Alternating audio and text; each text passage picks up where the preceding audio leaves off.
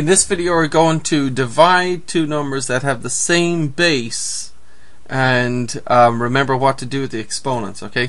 So if you have a to the power of m divided by a to the power of n what do you do with the exponents? Do you remember? Add them subtract them multiply them divide them what? So that would be a to the power of m right? The top exponent minus the bottom exponent, m minus n, right? And what property is this? Do you remember? You're dividing, and that's called the quotient property, right?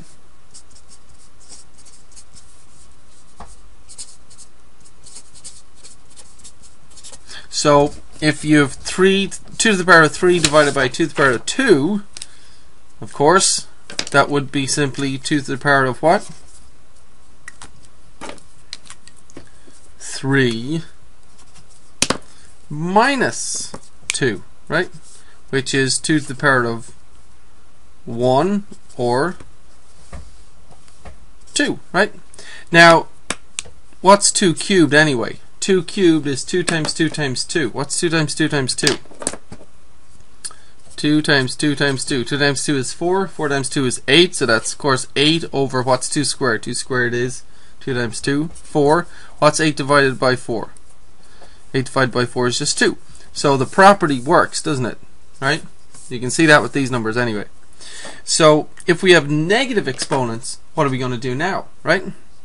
2 to the power of negative 5 or, over 2 to the power of negative 6. Now, I want you to agree this much with me. It would be 2 to the power of the top exponent, we'll write a parenthesis for it, minus the bottom exponent. We'll write a parenthesis for it. And the parentheses are going to help us not make a mistake with the negative numbers, right? But you agree it's the top exponent minus the bottom exponent. Now if we had 3 to the power of negative 4 over 3 squared, wouldn't that be 3 to the power of the top exponent parenthesis minus the bottom exponent, write a parenthesis there? Does that make sense? Then all you have to do is plug in the exponents and get the answer, right? So back to the first one, the top exponent was negative 5, right? So we're going to plug in negative 5. The bottom exponent was negative 6. We're going to plug in negative 6. And see now we have a double negative. Negative, negative. And that's exactly what we wanted to watch out for, right, with this one. So what does this become? And, and in fact, you know, sorry, let's do this one right away actually as well. 3 to the power of negative 4 over 3 to the power of 2. That gives us 3 to the power of negative 4 minus 2. Okay? And then we just calculate the top, calculate the answer and, and get it. So what I want you to do is just take the first step with this one. x cubed over x to the power of negative 2. Just take the first step. That's x to the power of what minus what? Right? Did you get it? So I just want you to take the first step. Don't calculate anything. Just take the first step on this one.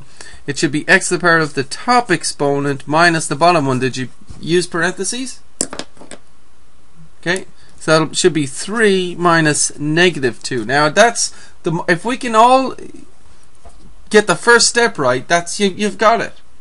But the problem is most people want they just don't have the patience to write this out and so they'll want to skip it and they'll make a mistake on the negative numbers.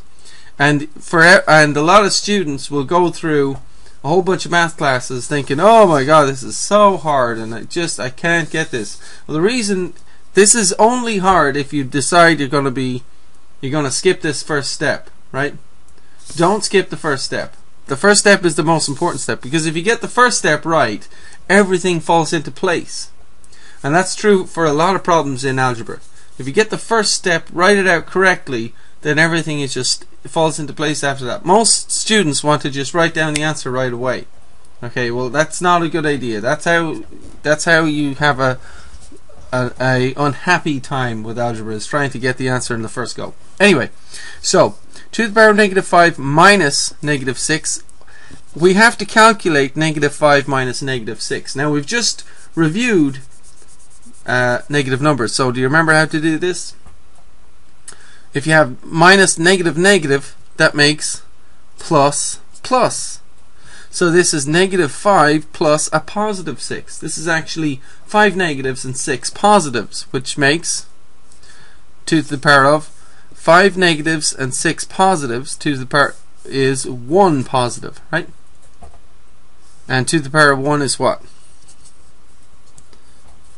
Can also be written 2, right? Now, how about this one? Negative 4 minus 2. That becomes 3 to the power of what? Now, a negative 4 minus 2, I'm in debt by $4. I subtract 2, now I'm in debt by what?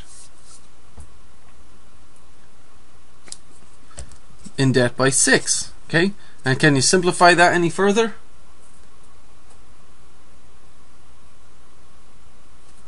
One over three to the power of what? One over three to the power of six, right? How about this one? We've got x to the power of 3 minus negative 2, which gives us x to the power of what? Now, negative negative makes what? Negative negative makes plus plus. Okay? Now 3 plus positive 2 is what? 3 and 2? 5. And can we simplify that? x to the power of 5? How could you simplify that? Or could you... You can't. It already has a positive exponent, okay? Simplifying these answers means, like, if there's a power of 1, you gotta write just the number, because 2 to the power of 1 is just 2, right? Or what's what would x to the power of 1 be? x to the power of 1 would be x, right? Or if you have a negative exponent, it's 1 over that to the power of, you know, you know how to simplify negative exponents, right? But if just a if it's just a positive exponent, then you're done. That's the answer, right? So, anyway, y to the power of negative 1 over y to the power of negative 1 gives what? So press pause, do that yourself, and see if you can get the right answer. And if you make a mistake, that's a good thing because, hey, this is what it's all about. You, this is a good place to make a mistake when you're going through the videos, right? Okay, I hope you pressed pause and tried it. I'm going to do it now. So, I hope you used parentheses. It should be parenthesis minus parenthesis, right? And then you plug in the exponents. Negative 1 minus negative 1, and that should give you a double negative here. Now, if you got that first step, I guarantee you, almost certainly you'll get the right answer then, right? So this becomes what? Negative negative makes plus plus. So we have y to the power of negative 1 plus positive 1, which is y to the power of 0. Okay, and that's the correct answer. Now, can we simplify that any further?